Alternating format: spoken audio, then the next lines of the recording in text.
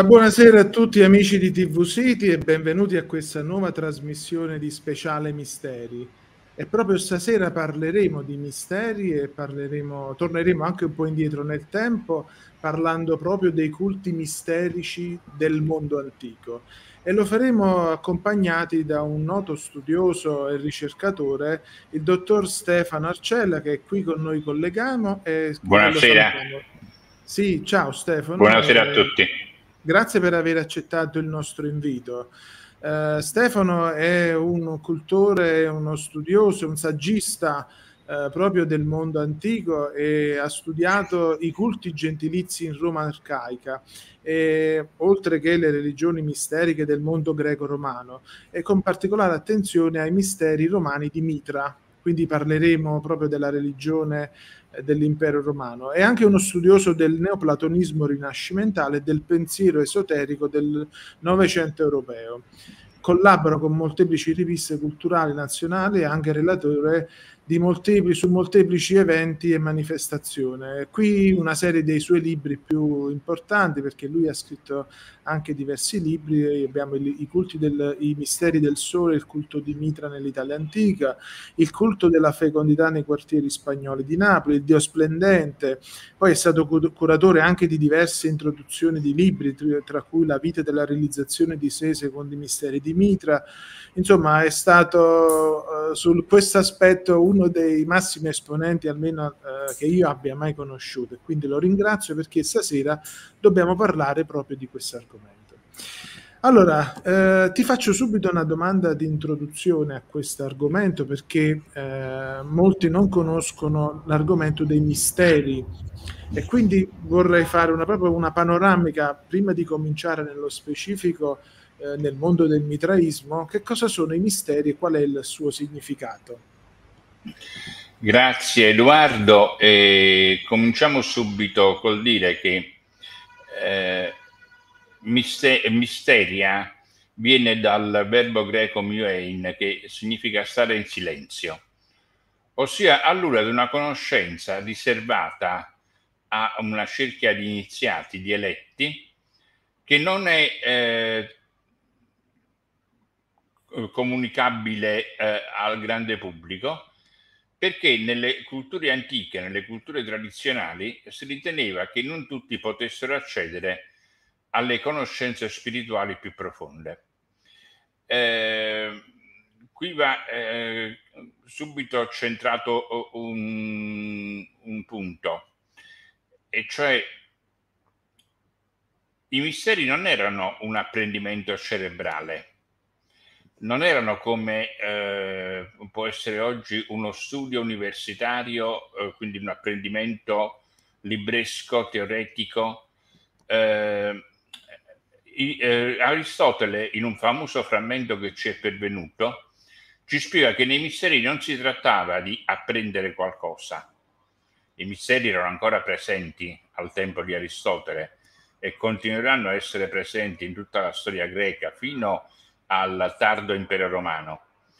Eh, misteri, eh, nei misteri non si trattava di apprendere qualcosa, ma si trattava di eh, apprendere, di, di provare un intenso stato interiore. Eh, la formula greca era eh, un matein alla patein, non era un matein, non era un apprendere, ma era un patein, cioè un provare un intenso stato interiore, era un'esperienza interiore trasformatrice. Quindi era un approccio eh, alla conoscenza spirituale come conoscenza rigorosamente esperienziale quindi era una conoscenza sperimentale. Questo è fondamentale perché nel mondo antico il sapere eh, cerebrale, teoretico, eh, non aveva molto senso. La conoscenza aveva un valore in quanto trasformava l'uomo e investiva la totalità dell'essere umano nell'insieme delle sue facoltà. Eh, questa impostazione eh, era presente anche ehm, in altre discipline, in altri campi, eh, che avevano una stretta correlazione con la dimensione del sacro e del sacro inteso in senso misterico, nel senso che ho poc'anzi spiegato. eh, per esempio per quanto riguarda la medicina. Eh, la medicina eh, antica, la medicina greca era un, un, una disciplina, un'arte sacra, eh, era sacra ad Asclepio, eh, il, il, dio della medicina sacra. Eh, vi era un tempio di Asclepio, per esempio ehm, vi sono testimonianze archeologiche precise di, eh, di templi eh, greci eh, anche nel Peloponneso. Eh, vi sono templi di Asclepio che sono strettamente collegati al teatro, perché il teatro, il teatron, cioè la manifestazione del divino in senso etimologico, aveva una funzione catartica di cui ci parla Aristotele che era strettamente collegata alla medicina sacra. E eh, queste conoscenze non erano divulgate a tutti, venivano date soltanto a coloro che facevano un giuramento, infatti il famoso giuramento di Ippocrate. Ma anche nella filosofia abbiamo testimonianze molteplici nelle fonti antiche, per cui ehm, gli epicurei, per esempio, avevano dei testi che non davano a tutti. Non tutti potevano accedere a tutti i testi degli epicurei. Platone nelle sue opere, eh, nel, eh, nel Timeo, nel Fedro, risente molto di influenze misteriche. Nel simposio, per esempio, vi è chiara l'influenza, eh, l'eco, la risonanza dei misteri di Eleusi. Eh, quindi la filosofia come amore della sapienza eh, era una disciplina che aveva un aspetto interno più profondo, misterico e quindi esoterico, cioè non accessibile a tutti ma accessibile a pochi. È noto per esempio che Platone eh, avesse trasmesso ai suoi eh, discepoli eh, un insegnamento eh, sul bene, sulla eh, dottrina del bene, che non, che non tradusse in testi scritti. Erano insegnamenti riservati a pochi eletti ed erano insegnamenti orali che non venivano tradotti e messi per iscritto e non dovevano essere divulgati, non ne doveva lasciare traccia. Un altro aspetto dei misteri fondamentali è il silenzio, mio end, come dicevo prima, stare in silenzio. Perché? Perché ehm, determinate conoscenze non possono essere tradotte in una formula verbale. La formula verbale diventa una razionalizzazione, quindi una riduzione, una limitazione del contenuto dell'esperienza. È un'esperienza ineffabile, non, eh, non riducibile, non, tradu- non racchiudibile in parole che esprimono un pensiero logico discorsivo è una dimensione di conoscenza che va oltre il pensiero logico discorsivo. E, e quindi l'aspetto esperienziale dei misteri, i misteri come conoscenza esperienziale del sacro e ehm, l'aspetto del silenzio sono fondamentali. Gli antichi sono rimasti famosi per il loro, ehm, eh, per, per il loro eh, culto del silenzio, perché eh, il silenzio eh, significava anche un'altra cosa, non era il silenzio soltanto nel senso di non parlare, era il silenzio nel senso del silenzio mentale, cioè del, dell'interrompere il flusso disordinato e caotico dei pensieri ordinari e eh, raccogliersi nel profondo della propria interiorità per attingere ad una conoscenza superiore. Quindi il silenzio, sia nel senso di non divulgare certe conoscenze, sia nel senso di eh, un silenzio in, intimo, individuale, più profondo, erano tratti caratteristici essenziali dei misteri. Quindi siamo al di là di un apprendimento cerebrale e non è neppure un culto nel senso religioso, nel senso che noi diamo oggi al termine religione, non era una fede in un sistema di credenze, quello era il culto pubblico.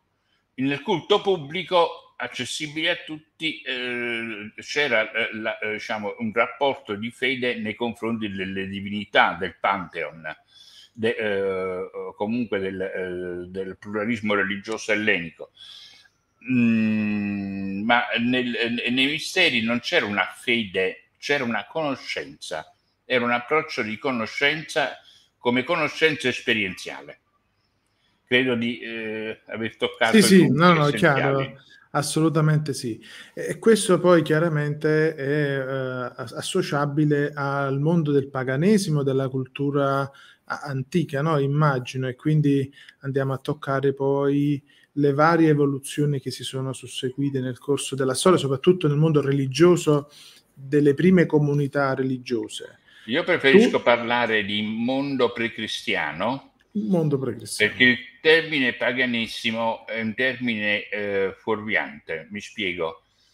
Eh, I pagani furono così denominati dai cristiani nel tardo impero per designare in senso dispregiativo gli abitanti dei paggi che erano legati ancora agli antichi culti, alle antiche tradizioni, alle tradizioni dei maiores.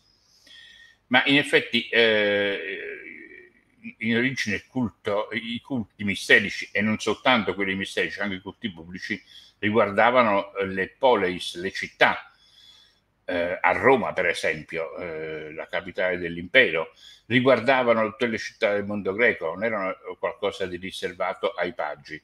Quello è un fenomeno tardo, del mondo tardo antico. Quindi preferisco parlare di mondo precristiano.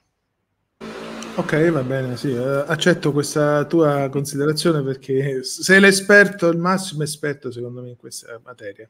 Ecco, allora, quindi ritornando al culto precristiano, perché eh, è un tema che io ho affrontato molti anni fa, eh, anzi io volevo far vedere eh, a tutti quanti che ho qui un libro di Stefano, proprio I, I misteri del sole, sì, eh, che parla... Primo Esattamente, io l'ho comprato una decina, una quindicina d'anni fa, mi sembra, a, a Napoli, mm. eh, dove parla proprio di tutta l'evoluzione del, della costruzione, se la vogliamo chiamare così, del culto mitraico a partire dai popoli un po' più antichi fino ad arrivare a quello romano.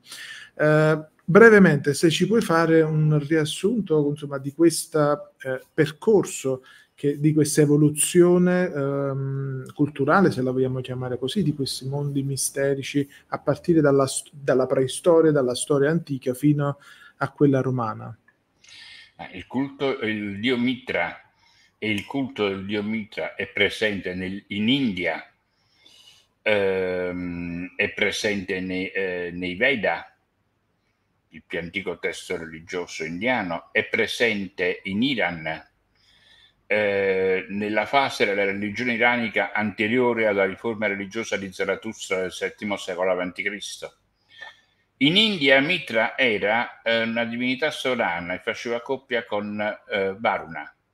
Varuna era il dio dei lacci, il dio eh, eh, temibile, aveva mille occhi che poi erano le stelle, era il dio del cielo nel suo aspetto diciamo anche più temibile era colui che eh, legava con i, eh, con i, suoi lacci coloro che non rispettavano rita, cioè l'ordine religioso, l'ordine cosmico in senso religioso e morale.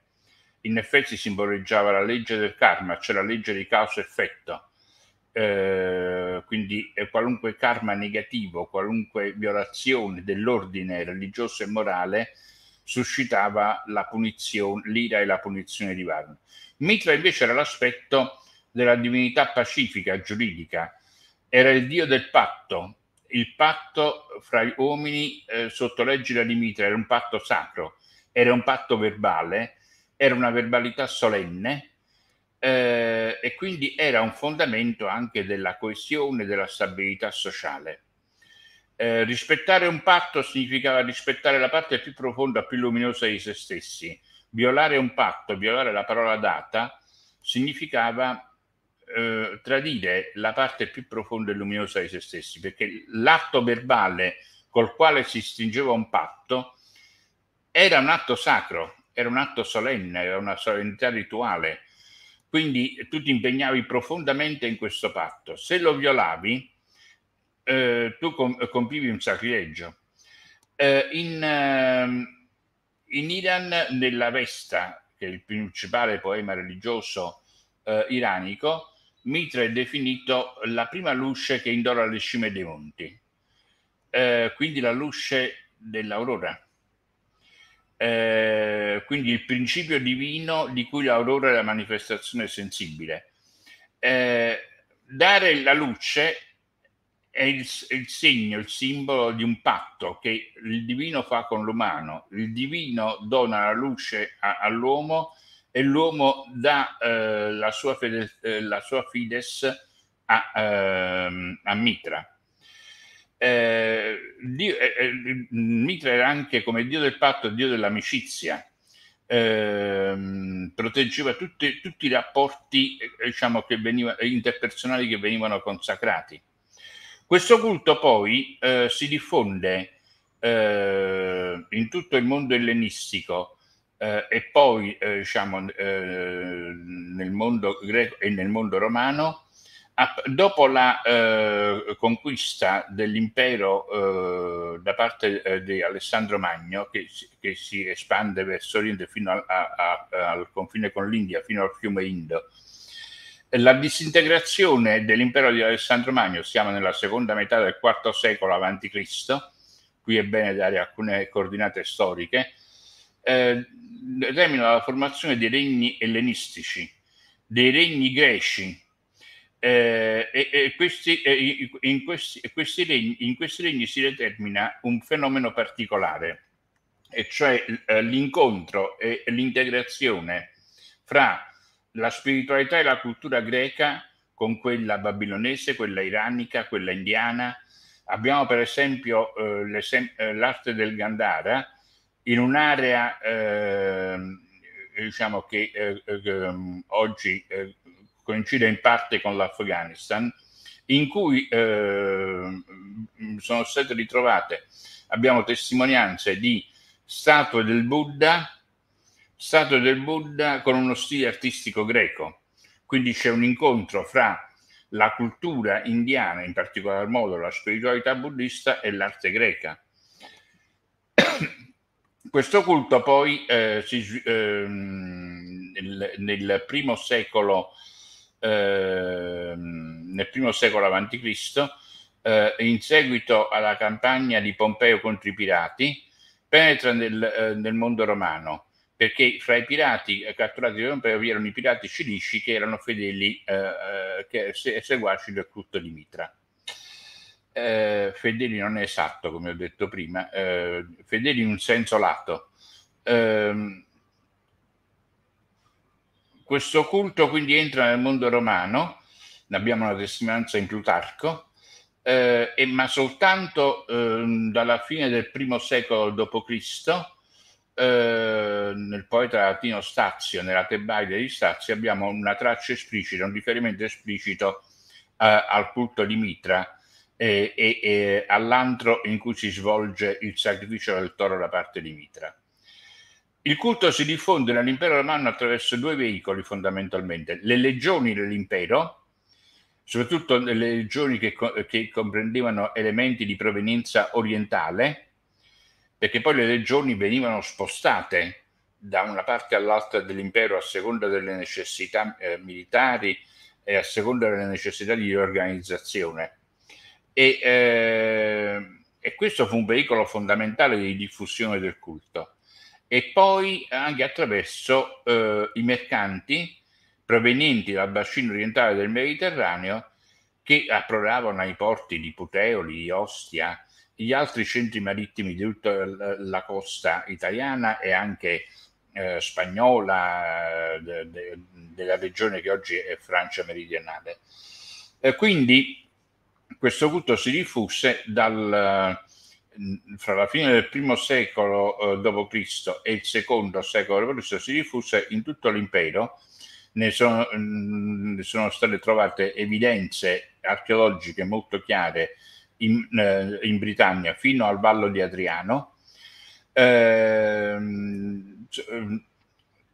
si diffonde fino a, alla costa, eh, fino alla Lusitania, l'attuale Portogallo, e in Dacia, dopo la conquista della Dacia, cioè l'attuale Romania, da parte di Traiano.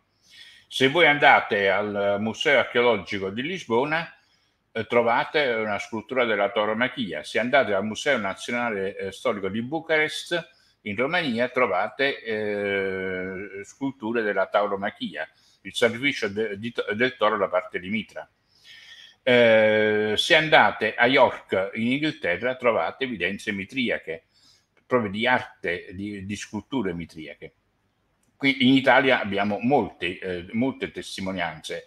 Qui vicino a Napoli abbiamo soprattutto il mitreo di Capua, famosissimo, che è anche uno dei più importanti perché contiene ehm, tracce, cioè eh, evidenze, eh, dipinti, ehm, una serie di dipinti lungo i podia, lungo le pareti dei podia, le pareti laterali, che eh, rappresentano scene di iniziazione.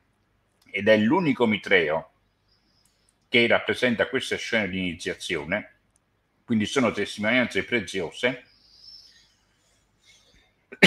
Posso ricordare eh, il libro eh, del, del, dello studioso olandese Vermaseren eh, sul mitreo di Santa Maria Capovetere, che venne pubblicato negli anni 60 eh, e a, a, quel tempo le, le, le, diciamo, i, i, dipinti parietali delle scene di iniziazione erano, erano ancora eh, ben visibili.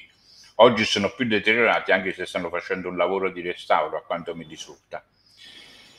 Quindi queste sono le coordinate, stiamo Ho parlando capito. di un culto misterico che si colloca fra il primo secolo d.C. nell'impero romano fino alla fine del quarto secolo d.C. Ho capito. I, I, secoli dell'impero.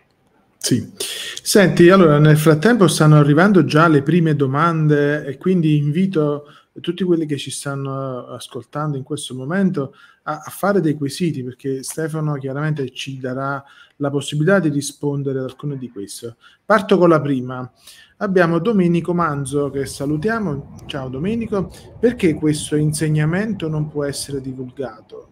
Non è che le elite de- eh, che governano il pianeta, il pianeta Terra vogliono il dominio sulle coscienze?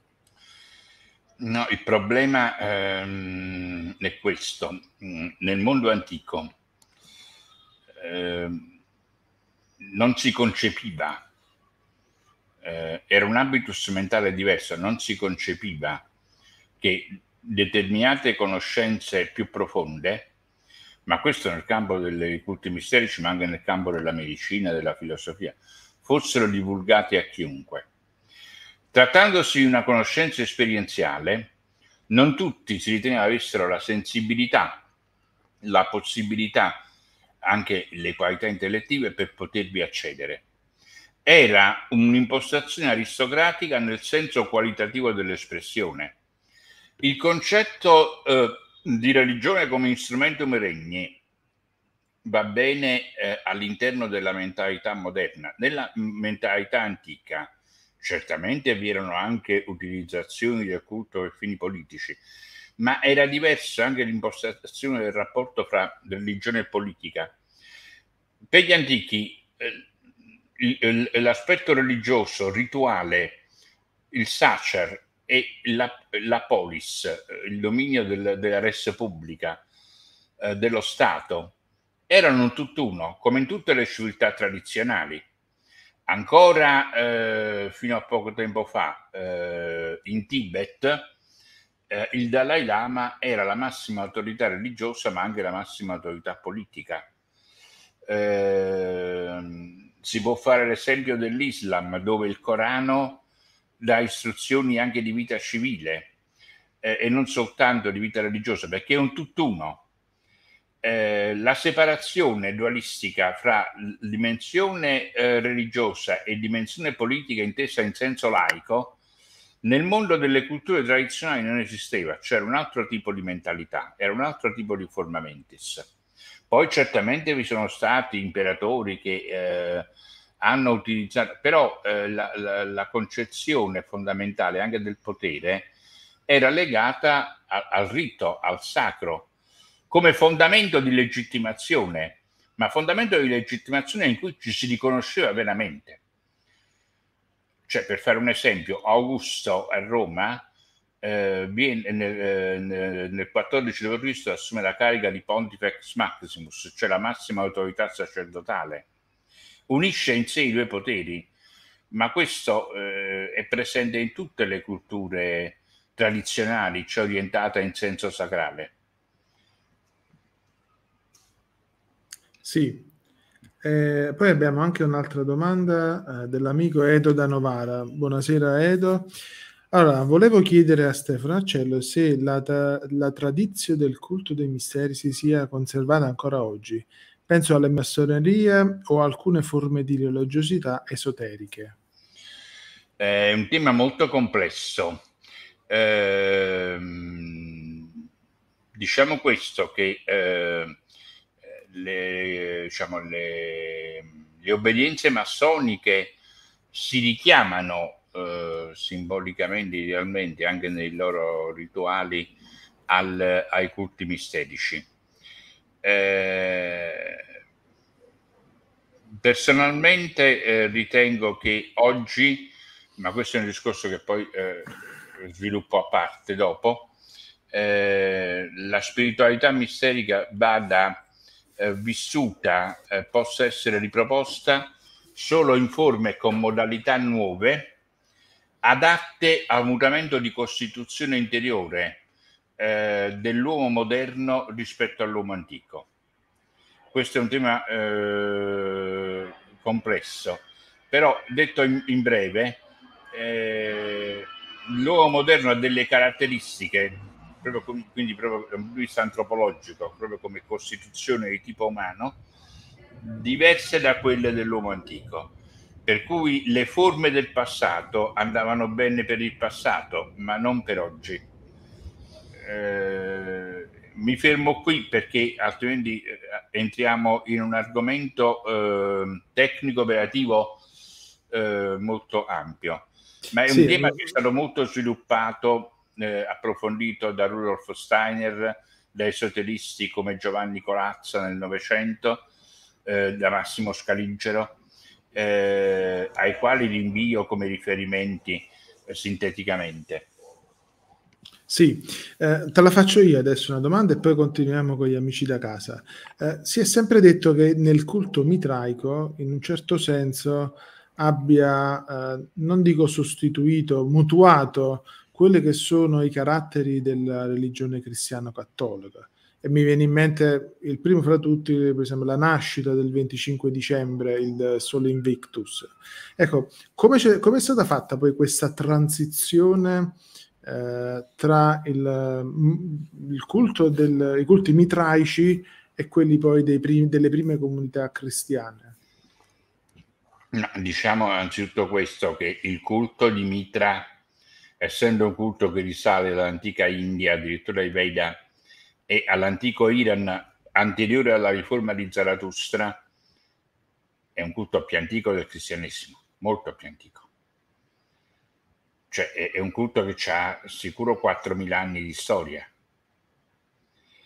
Eh, 4.000 anni di antichità eh, nel mondo eh, precristiano e in particolar modo nel mondo ellenistico, cioè quel crogiolo sintetistico di cui eh, prima accennavo e che eh, eh, scaturisce dalla disintegrazione dell'impero di Alessandro Magno, eh, nei regni ellenistici, nei regni greco-orientali, i rituali mistetici erano di vario tipo, erano molto diffusi il passo rituale, ad esempio, è una caratteristica costante dei, eh, dei culti misterici, in particolare di quello mitriaco, ehm, molto prima che sorgesse il cristianesimo.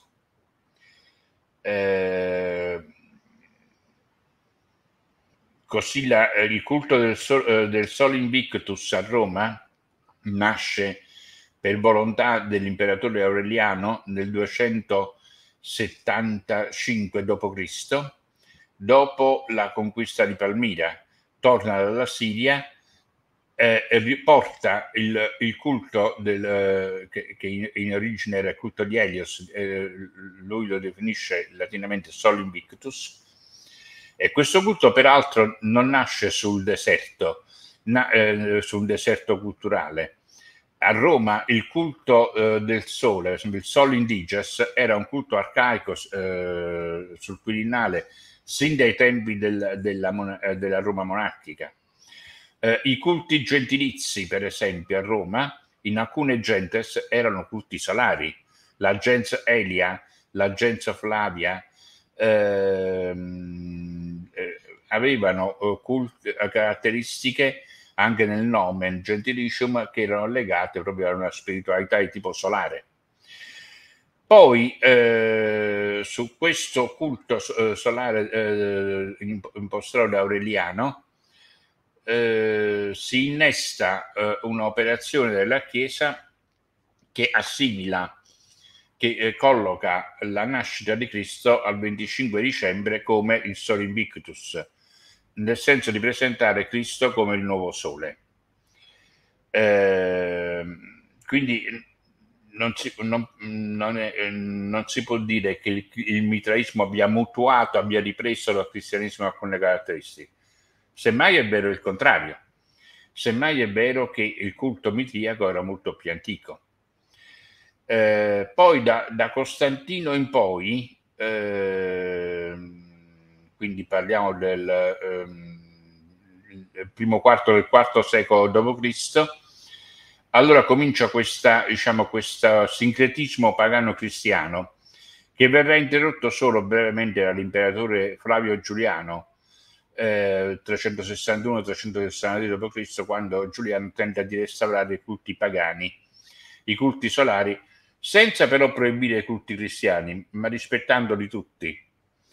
Eh, infatti fece un ditto in cui diceva tutti i culti sono ammessi e quindi se era, era ammesso il culto cristiano verranno ammessi anche tutti gli altri.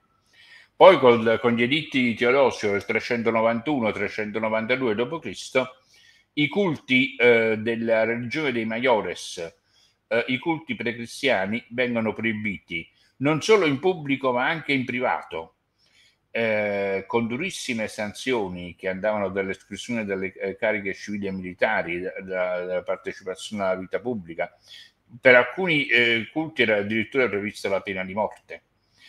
Quindi se vi fu una fase di persecuzioni da parte eh, dell'impero nei confronti dei cristiani, vi fu poi una fase successiva in cui avvennero le persecuzioni in senso opposto.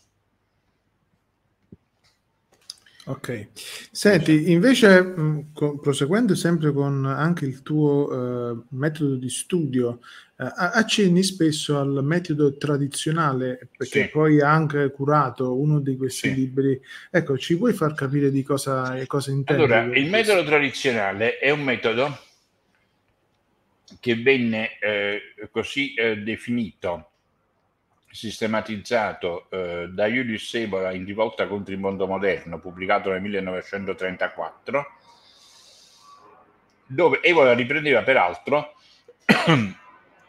eh, una impostazione metodologica che non nasce con Evola, ma che risale a un grande eh, studioso della mitologia antica che è Johann Jacob Bachofen, eh, vissuto nell'Ottocento.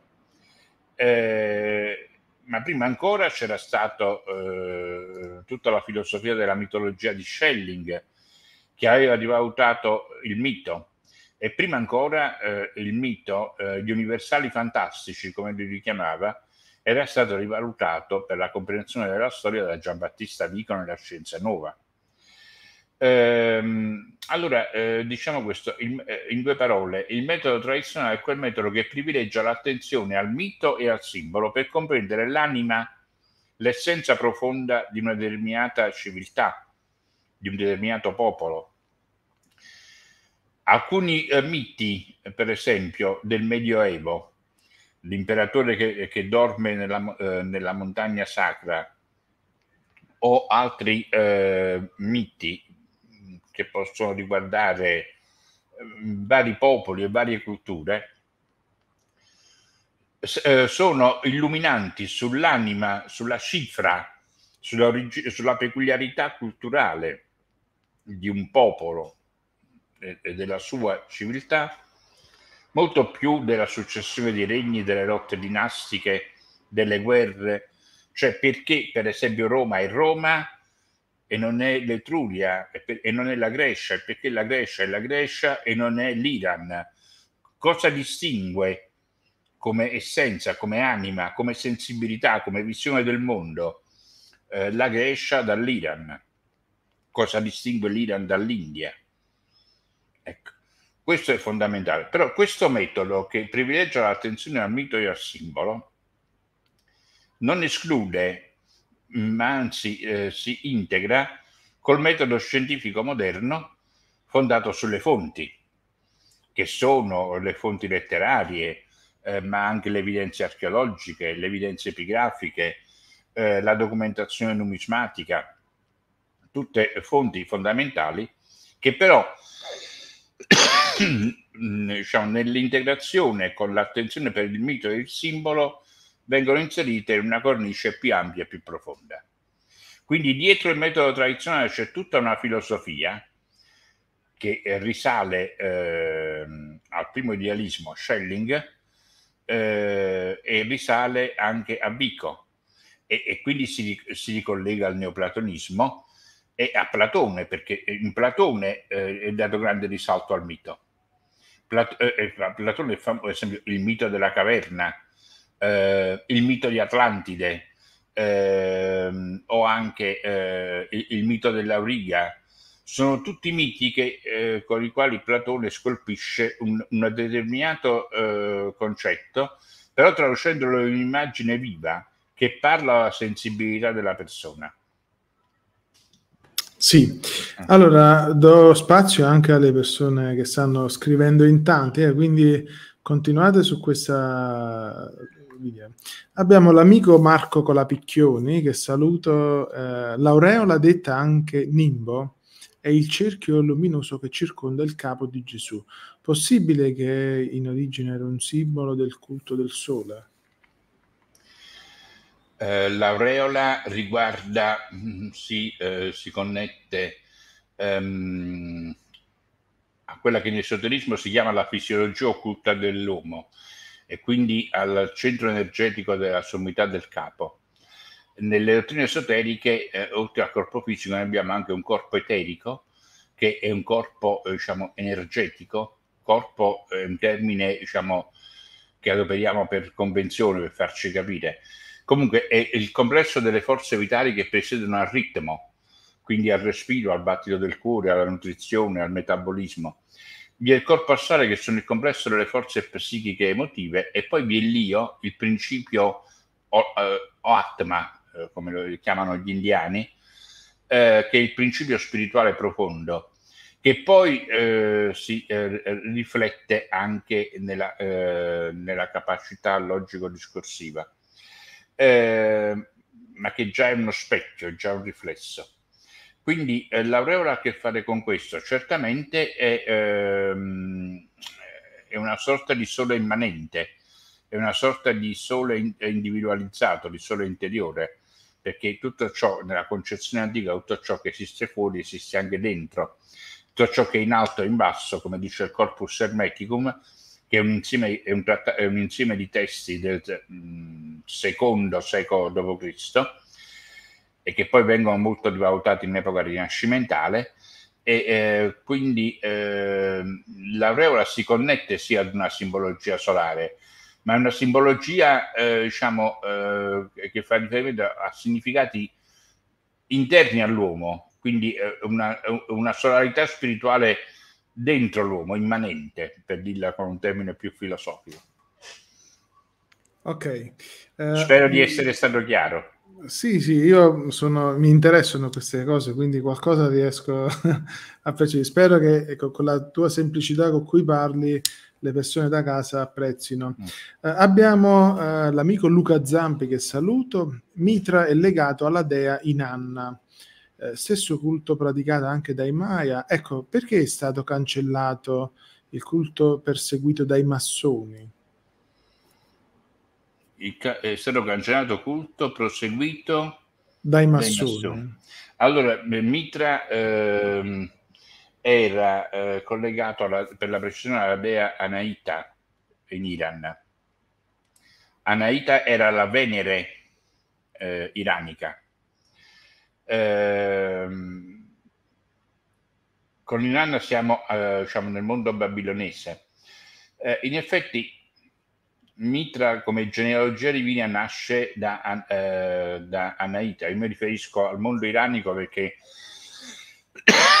il culto mitriaco romano ha una radice chiaramente eh, iranica, si vede da eh, diciamo anche dall'abbigliamento di, eh, di, con cui Mitre è rappresentato nel Mitreo di Capua.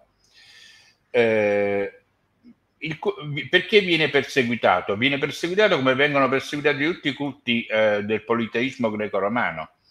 Come ho già detto, eh, gli eriti di Teodosio, eh, imperatore convertito al cristianesimo, eh, sono eh, riti che proibiscono eh, i culti della religione dei maiores e proibiscono anche i culti misterici, ma proibiscono anche l'etrusca disciplina, la ruspicina, le pratiche divinatorie etrusche, addirittura anche i culti familiari, i culti familiari e gentilizi che nella religione romana erano molto importanti vengono proibiti. Non è che viene proibito soltanto il culto di Mitra.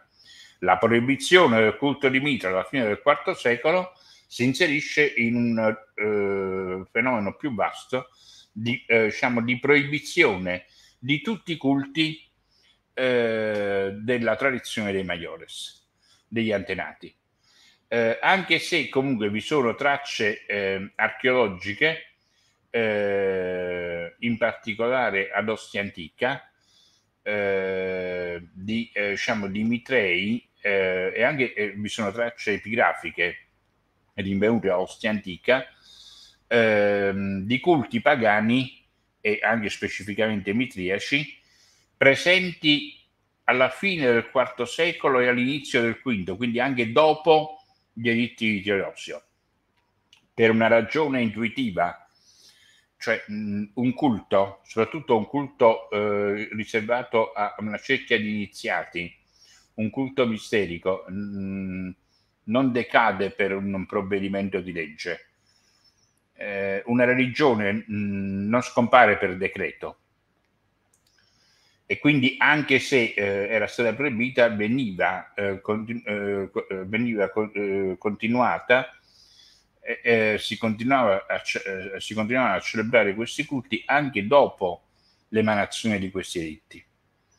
Il fenomeno mh, mm, dovette persistere per un po' di tempo, poi vi, vi fu un fenomeno di, di, di, mh, mm, progressiva eh, diciamo, eh, assimilazione sincretistica pagano-cristiana, che si vede per esempio nel culto dell'Arcangelo Michele, che ha molte affinità iconografiche, tipologiche, simboliche con Mitra, e, che però è collocato all'interno del cristianesimo.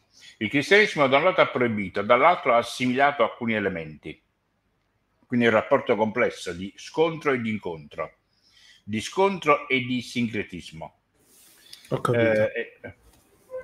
Va bene. No, allora volevo, mi, mi, piacciono i tuoi argomenti.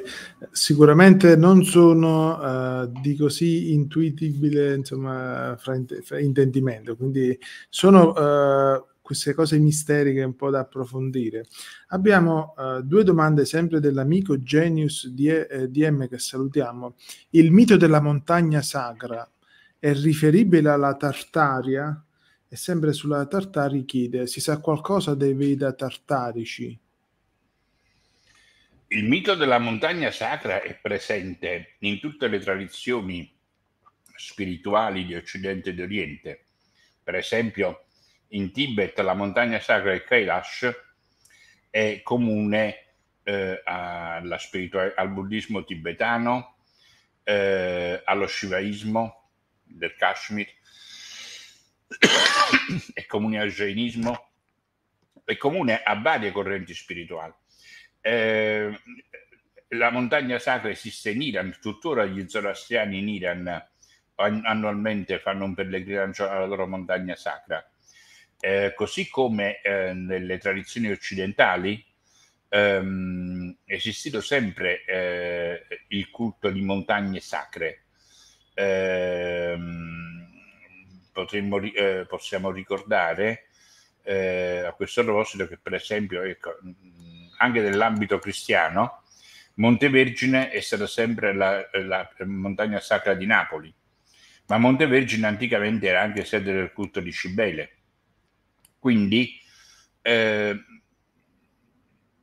il culto della montagna sacra e il simbolo della montagna sacra la montagna come luogo degli dei, la montagna come, come momento di incontro fra terra e cielo, la montagna come mediazione fra terra e cielo, non è riferibile esclusivamente a questa o a quella tradizione.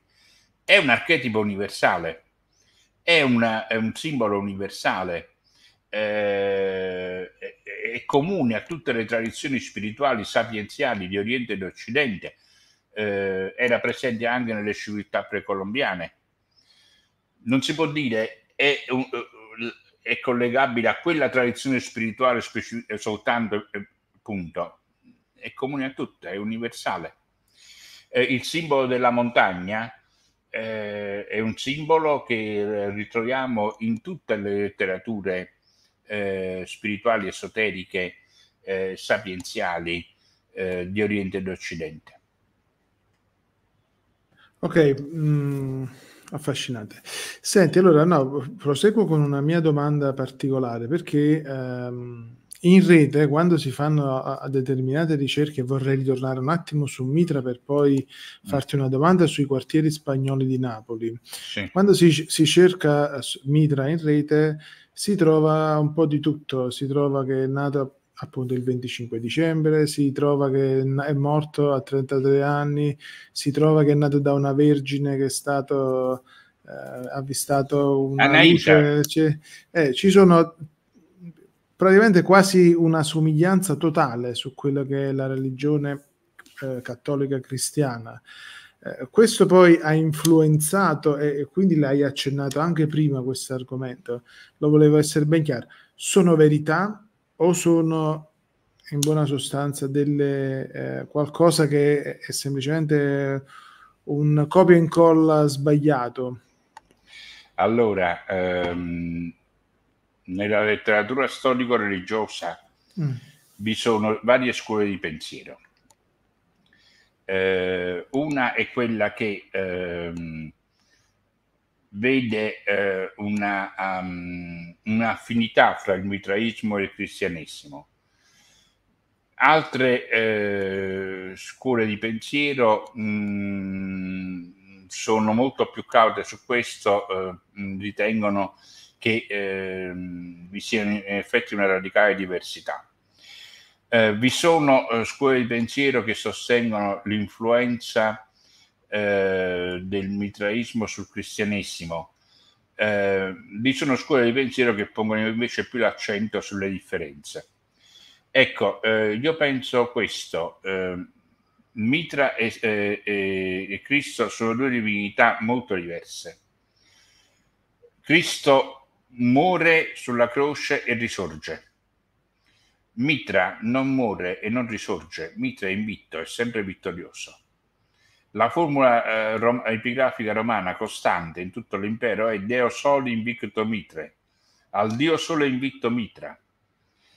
Ehm, la, la, vicenda di morte e rinascita, che poi viene replicata, riattualizzata nel, nel rituale iniziatico mitriaco, è, riguarda il toro, il toro primordiale. Mitra eh, è sempre vittorioso. E quindi fonda anche su un piano etico una eh, etica gioiosa, affermativa, positiva, costruttiva. Essendo un Dio sempre vittorioso, fonda un, un atteggiamento eh, affermativo, eh, gioioso. Il mondo non è la Maya come per gli indiani, il mondo, e questa è una caratteristica dell'Iran, eh, peculiare, il mondo è il teatro di una lotta fra luce e le tenebre. In questa lotta Mitra vince sempre. Il toro primordiale simboleggia le potenze scatenate, incontrollate, l'incoercibilità delle potenze istintive e passionali. Quindi, volendo interiorizzare il discorso, eh, l'aspetto diciamo, più basso dell'uomo. Ma il pugnale di Mitra, il pugnale solare, colpisce il toro, lo uccide ma nel momento in cui eh, il toro muore, dalla coda nasce la spiga di grano. E quindi una vicenda di morte e rinascita. Eh, poi la spiga di grano era anche un simbolo comune ai misteri di Eleus, i misteri di Demetra e di eh, Core, Core Persefone. Eh, altro aspetto importante, Mitra non nasce il 25 dicembre. Il 25 dicembre nasce il Sole Invictus, che è una divinità pubblica, è una divinità non inizia- eh, riservata agli iniziati, è una divinità del culto pubblico romano, culto statale. Mitra, pur essendo un, un culto ammesso, non è un culto dello Stato, è un culto consentito, lecito. ma non è un culto di Stato. Eh, i due, i due, le due cose si eh, confondono facilmente perché anche Mitra è Sol Invictus, ma è un Sol Invictus misterico, è un Dio per iniziati, è un Dio che richiede per essere conosciuto tutto un susseguirsi di, eh, diciamo, di, eh, di, di prove e di superamento di gradi iniziatici che sono ben sette e di cui abbiamo ampia testimonianza nei mitrei di Ostia, per esempio il mitreo di Felicissimo con il pavimento a mosaico sui gradi iniziatici e i loro simboli. Quindi dobbiamo distinguere Gesù come divinità che muore e risorge, ma questa è una, è una caratteristica anche di Osiride, eh, di Dioniso eh, smembrato dai titani, eh, di Osiride eh, eh, che viene eh, ucciso e smembrato da Tifone Set. Um, altro è questo, altro è Mitra come divinità sempre in vita, sempre vittoriosa. Okay. E quindi è diversa proprio la tipologia. Ok. Senti, no, volevo farti, volevo chiudere questo argomento di Mitra perché ovviamente eh, hai dato ampio spazio a questo argomento. Invece so, io sono napoletano, quindi hai, hai focalizzato eh, anche la tua attenzione sui culti antichi e moderni della Napoli nei quartieri spagnoli. Ecco, ci puoi far capire eh, cosa, di cosa si tratta, se è attinente anche al culto mitraico? Allora, ehm, sul culto mitraico dico un'ultima cosa brevissima ma importante il mitraismo romano non è il mitraismo iranico, non è semplicemente una riforma del mitraismo iranico, è una nuova elaborazione in cui elementi preesistenti vengono inseriti in una nuova rete di in una nuova rete di rapporti, assumendo nuovi significati e nuove, eh, e nuove funzioni. I gradi iniziatici in Iran erano 5, a Roma diventano 7. Il Perses è il grado più alto, a Roma diventa il quinto.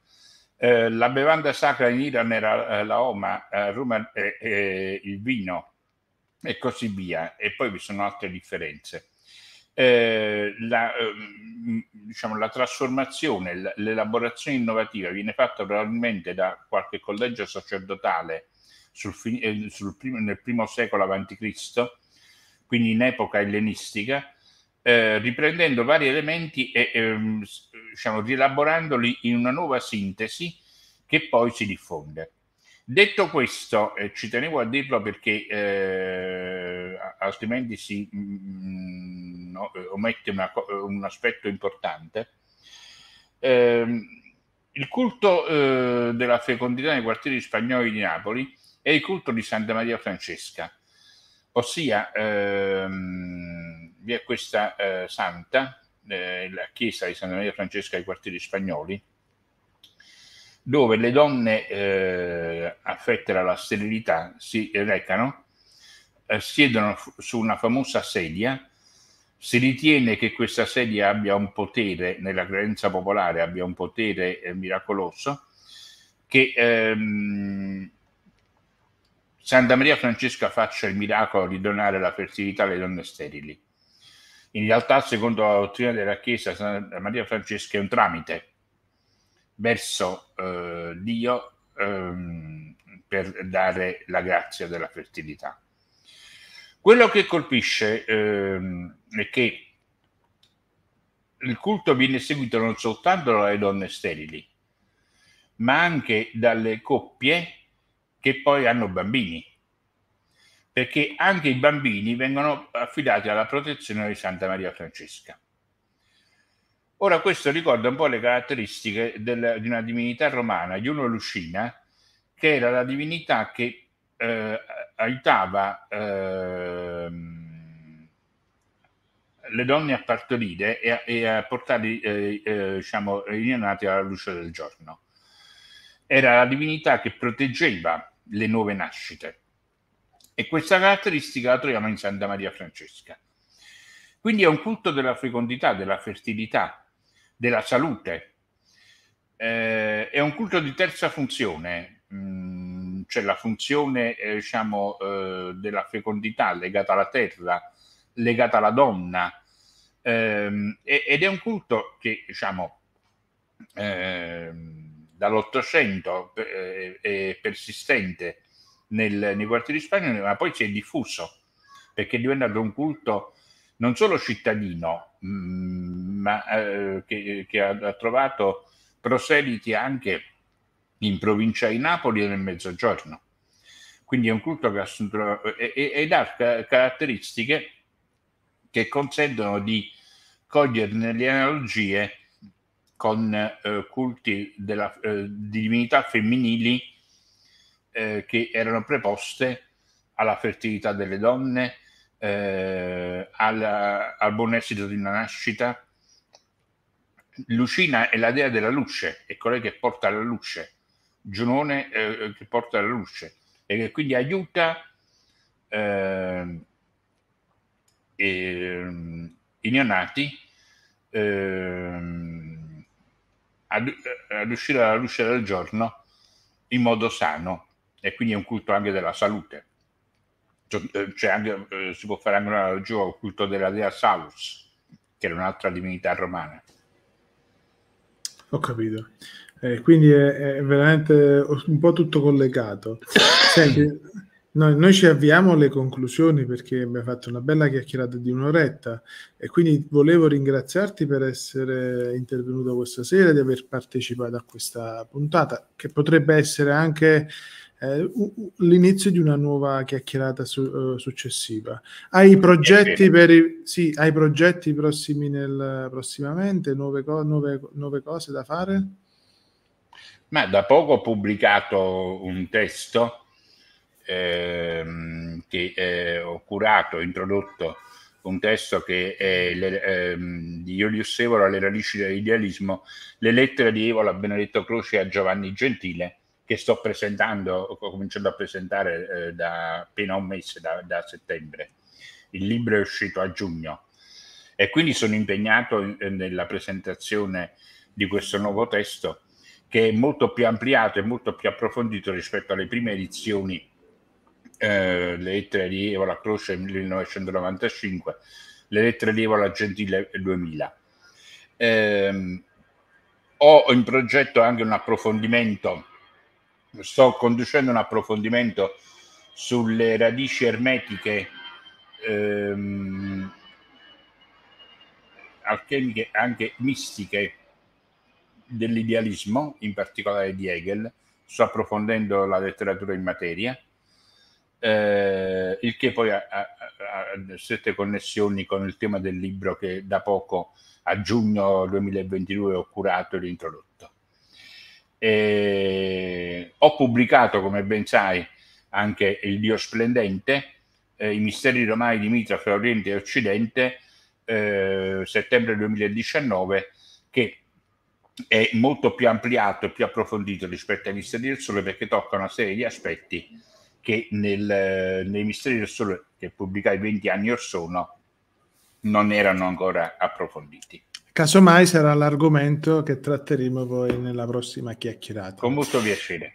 Sì, allora io ringrazio tutti quelli che ci hanno sentito, ci hanno ascoltato, che hanno dato voce a questa nostra chiacchierata. Gli invito chiaramente a tutti gli altri di mettere mi piace se ancora non l'hanno fatto la nostra pagina YouTube, di mettere la campanellina e quindi di restare aggiornati perché stiamo crescendo insieme a voi che ringraziamo tutti. Noi ci vediamo prossima, il prossimo giovedì con un'altra puntata della trasmissione e quindi ti saluto nuovamente. Ciao Stefano grazie.